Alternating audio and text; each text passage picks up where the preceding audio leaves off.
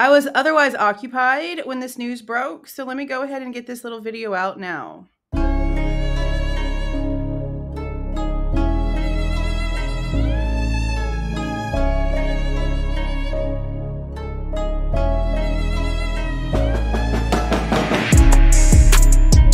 Hey guys, this is Jules with True Crime Reactions.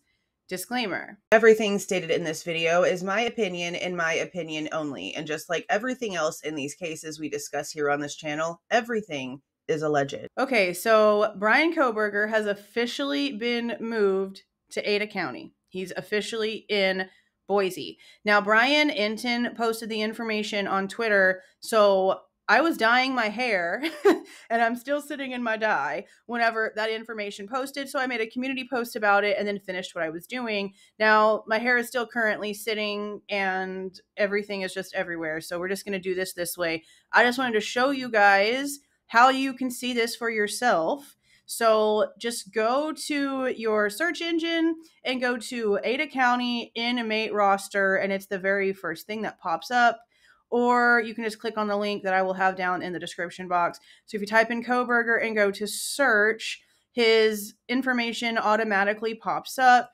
You click on it. This is it. That's all that there is so far. This is the picture that I posted. Also, after the information about Bryan being transferred, Grizzly True Crime was the first person I saw with the mug shots. I actually checked this earlier today before I posted this video. If y'all haven't heard this insane story yet, the link for that will also be in the description box. Crazy, graphic. Just be careful. If you've got a weak stomach, you might not even want to go click on that. That being said, this change took place maybe about half an hour after the last time I checked it. So I wasn't really thinking they were going to do any updates on a Sunday. So that was interesting. But yeah, this is it right here. Now, I know you see this little Vine thing right here. Now, if you click on this, most of you guys know about Vine. I knew about Vine because I have to be on Vine in order to make sure that I get updates on what's going on with my situation with my ex and all of our court cases because the prosecutors do a piss poor job of letting anybody know any updates.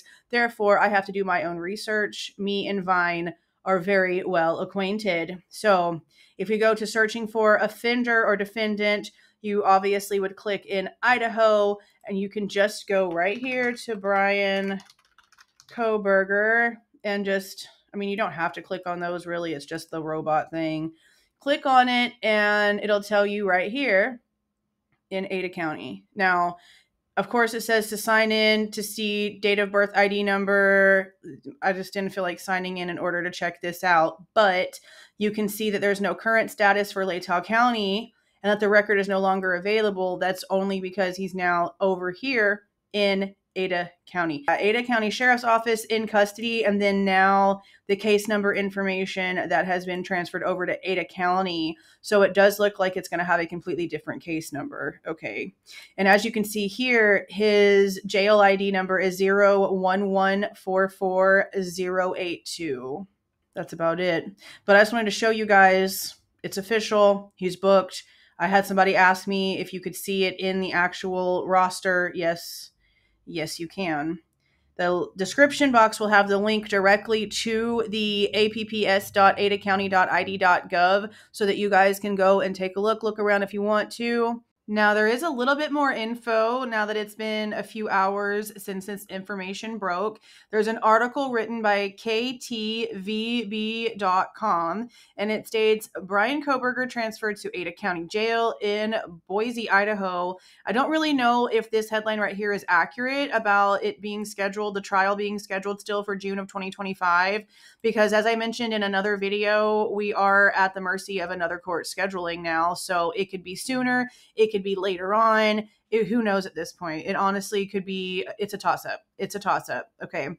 This states Bryan Kohberger, the man accused of killing four University of Idaho students, has been transferred from Moscow, Idaho to the Ada County Jail in Boise, Idaho. Kohberger was taken to Boise on the Idaho State Police airplane, tail number N121TD. He arrived at the Boise airport on September 15th at 821. Lots of 21s in this. Lots of two ones. And we have to also remember 1122 is the address 1122 King Road. So the twos and the ones are just all over the place. Does this pop up something else? FlightAware landed four hours and 40 minutes ago. That's pretty cool. Does it show me this part? Oh, look at this. So this is today. This is all of the little things that it did today. I'll have this in the description box so that you guys that are techie can take a look at this because this is kind of cool. Okay. It says Captain Ryan Jensen of the Ada County Sheriff's Office said several factors were taken into consideration for transporting Kohberger.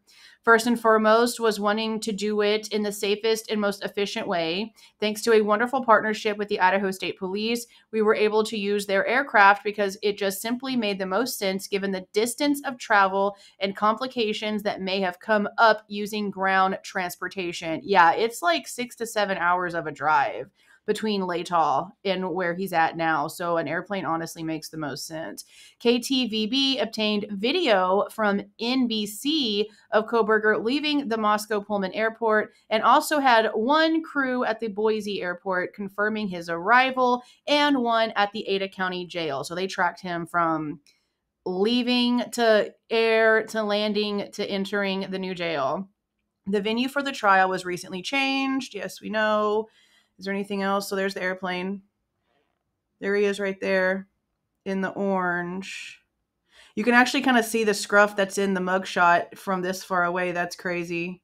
This is him at the Moscow Pullman Airport about to get on the plane to go over to Boise.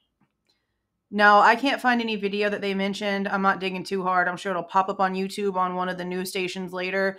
But I just wanted to give you all the most up-to-date information for the time being. And right now it is 2:15 p.m. on September the 15th of 2024. But that's it, you guys. I just wanted to get this out there. And if you like the way that I present this information and give my opinion and try to teach you how to look up some of these things yourself instead of just throwing the information out there like I'm special, Everybody can get this. Just FYI, okay?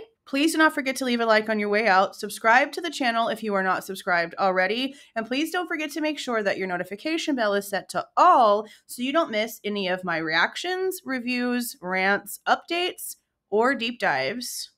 See y'all.